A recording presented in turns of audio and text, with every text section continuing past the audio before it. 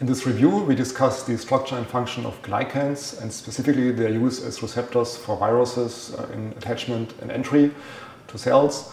Um, as you know, glycans cover many cell surfaces and they can be linked to either lipids or proteins at the cell surface. Glycans are very diverse and they're very complicated structures and it makes it challenging. I think that they are difficult to synthesize often. They cannot be sequenced, they cannot be cloned. And it's often difficult to know even what glycans are on what cells and what the distribution and the density of these glycans on cell surfaces is. Uh, when a virus binds to a cell surface, it often encounters uh, first a glycan receptor and as a result, many viruses uh, bind glycans.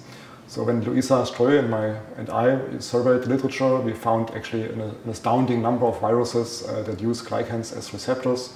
And we listed them in a long table and this was really impressive, but we thought it would be maybe uh, better to focus on a few specific viruses and explain in detail how they interact with virus with the glycans and not really discuss each of these in, in at great length. So we focus our review on four uh, viruses that are relevant for humans, uh, polyomaviruses, reoviruses, coronaviruses and rotaviruses. All of them bind glycans and all of these uh, have seen in recent, in recent, years some papers, uh, glycan receptor structures have been uh, found to be really important for understanding how the virus binds to cells and also how the virus really can switch from one cell surface to another cell surface.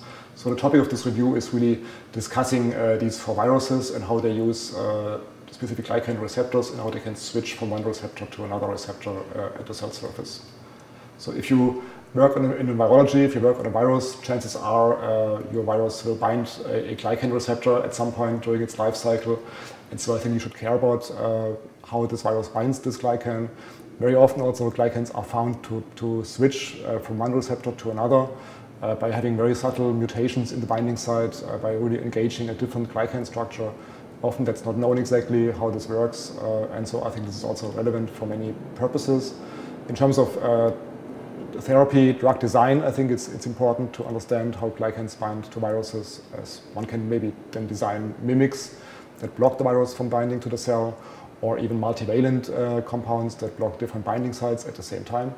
And finally, if you think about retargeting a virus from one cell to another cell, or even maybe from a different host to another host, uh, if you know how the virus binds a certain cell, one can retarget this virus, redesign its envelope, maybe its, its, its uh, shield, to bind to another uh, surface structure with different glycans that are maybe even more useful for maybe gene therapy purposes, for example. So specifically, we want to have this review uh, out there also for young scientists, for young investigators who are looking at uh, a career in science and who are still looking and searching for maybe an interesting topic, interesting field to work on.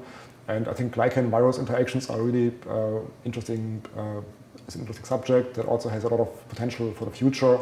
And one of the reasons we wrote this review is really to engage and excite uh, young scientists into this new, uh, into this interesting research area.